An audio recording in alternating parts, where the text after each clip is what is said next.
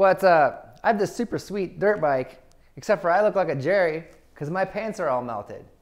And whose fault is that? Well, my fault. But I'm blaming KTM for having this exhaust pipe right here. I prefer to do my smart things retroactively, so now that I've already ruined my pants, I went out and bought this P3 carbon exhaust heat shield. The package contains the carbon heat shield, three hose clamps, and some brackets. They give you some instructions as well. We can give that a little read here.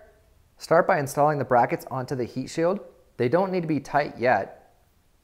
Put the heat shield on the pipe and find the right position, then mark where the brackets go.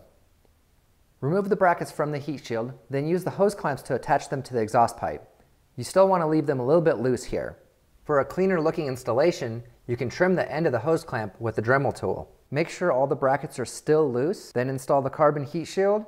Use the 4mm Allen key to install the screws. Wiggle it around a bit until you find the right position. You can go ahead and tighten the Allen screws all the way now.